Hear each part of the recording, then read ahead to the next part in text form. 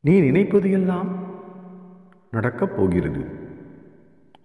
நிஜமாக மாறப்போகிறது ஆனால் நீ வெளி தோற்றத்தை மட்டுமே வைத்து கற்பனையில் லயித்து எவ்வாறு செயல்பட வேண்டும்? எப்படிப்பட்ட முடிவு எடுக்க வேண்டும் என அறியாமல் குழம்பி போகிறாய். நீ பல கற்பனைகள் செய்வதும் கனவுகள் காண்பதும் தவறு இல்லைதான். அவைகளெல்லாம் உன் வாழ்க்கையில் நிஜமாக மாற வேண்டும். அவைகளை நீ அனுபவிக்க வேண்டும் என்பதுதான் என் ஆசை.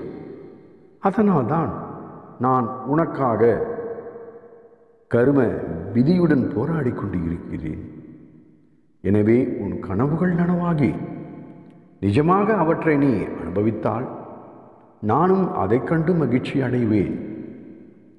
நீ என் செல்லப்பிள்ளை பேராசையோடு எதற்கும் ஆசைப்படுபவர் இல்லை.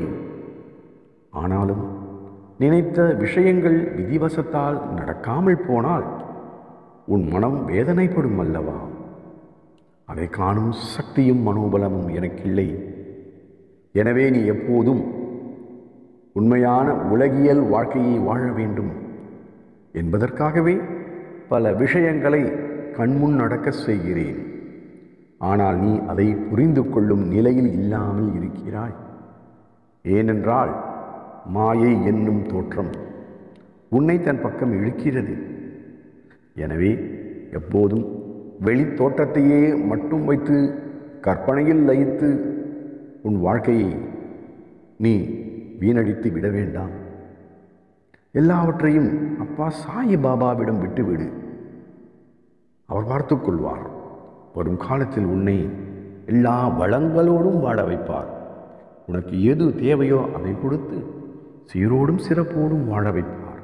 இது உறுதி. சாய் பாபா இருக்க பயம் எதற்கு? கவலை எதற்கு?